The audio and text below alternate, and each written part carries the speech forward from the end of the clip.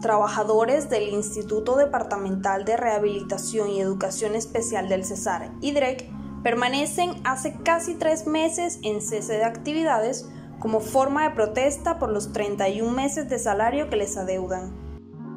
Muy buenos días, agradecemos al diario El Pilón por eh, hacer este acompañamiento. Nosotros nos encontramos, decidimos hacer presencia acá en este sitio donde se colocará la primera piedra para el Museo de Arte de parte de la Administración Departamental.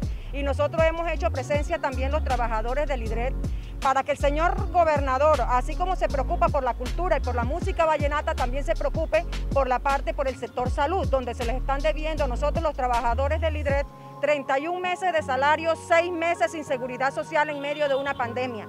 Ya se podrán imaginar ustedes el riesgo que estamos corriendo, lo desamparados que estamos nosotros los trabajadores y sin ninguna solución a la fecha.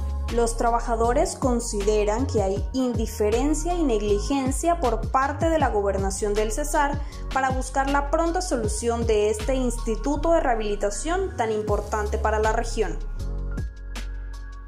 Exigimos que el señor gobernador tome una pronta solución porque ya el Ministerio de Protección Social, la Supersalud, lo pusieron en conocimiento y dicen quien tiene que responder y quien tiene que decidir y resolver esta situación es el señor gobernador.